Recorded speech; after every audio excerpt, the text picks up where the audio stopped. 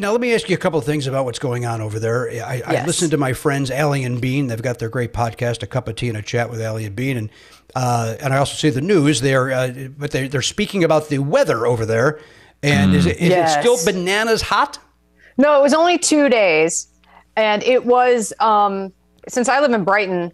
I'm like an a- I'm usually 10 degrees colder than London, right? So London was like 105. Here it was 95. However, yeah, all these Charles Dickens ass buildings. Ain't nobody got like AC. They're old as shit, and they're built to stay warm in the summer. So it was unbelievably miserable It was bad. because there's no ventilation. Again, I live in a 150 year old building, and all the news was giving tips of like, you know, you keep your windows closed, like keep them closed, keep the shades drawn because, you know, it was just like hot. I'm like, how is there hot wind? First of all, how's that a possibility? So hot wind was blowing.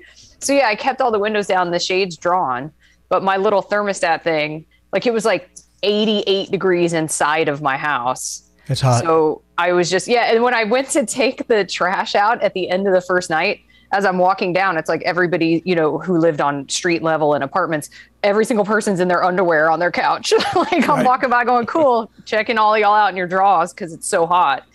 Um, yeah, it was miserable. It was miserable. But you know, it's because yeah, nobody here is equipped for that kind. It's never that hot here. It was literally the hottest days on record in the history of record keeping.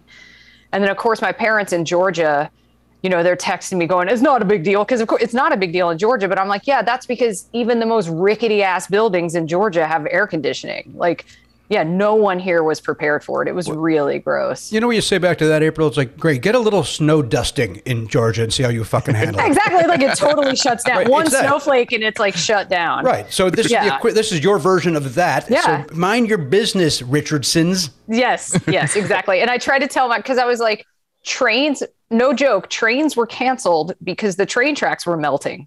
These are hot tracks. Yes, they're just like we can't take like the trains will derail if too many people are on them and put the pressure on the tracks that are literally melting in the sun because we're not prepared for this kind of sun. So it was 2 days. It was Monday and Tuesday that were just unbearable. I didn't sleep. Like I had to stay downstairs and I had a fan, you know, like 2 feet away from me at full blast and it still was just miserable. But it, yeah, so it was it was like 48 hours and then all of a sudden it rained and that just immediately reset everything. Oh, so it was just 2 days. But in London, yeah, it was like triple digits. It was unheard of. What if I was to put a penny on those train tracks on one of those days? Would that be a good day to do that or a bad day to do that? Is that the best day to do that or the worst day?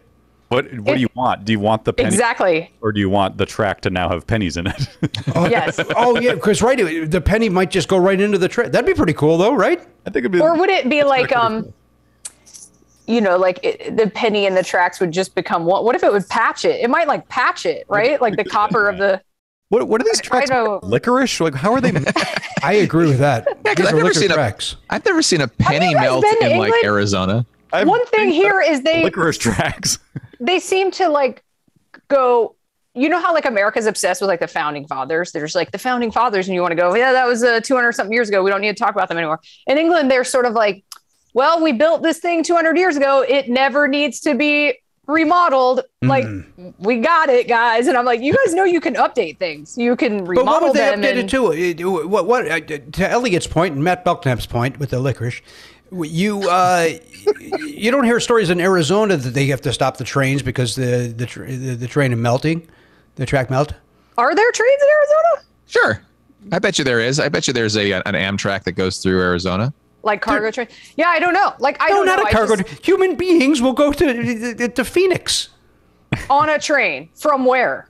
from anywhere in the goddamn country. Why do you think Arizona's against trains? I don't think Arizona specifically is, but there's not a lot of train travel. When do you ever hear of people going, "Hey, I'm going to go on the train to this other city"? Hang that on a doesn't second. happen that often. If I may, I think Eliot Hochberg took the train to Arizona. Didn't you, Eliot, at one point? Uh, I took a bus to Arizona. I took You the took a train. bus. I took the train through the Oh. south, through the south, and then up to uh, uh, Philadelphia. Yeah, Yeah, like he my, my family used to take the train to Florida, not from me. where? From the from the Northeast, from New England. All right, I so I will just I will tell Sorry. you that there are at least three Amtrak stations in Arizona: Maricopa, Okay. Flagstaff, and Tucson. I don't know what route that is. Oh, not I'll take a look at it. damn. Okay.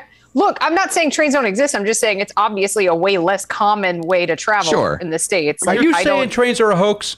trains are a hoax? And I'm here. Thank you for giving me a platform. You're welcome. to finally get the message out. A train platform. Trains do not exist. To hear the whole conversation, subscribe for free on Apple Podcasts or wherever you get your podcasts, or visit nevernotfunny.com.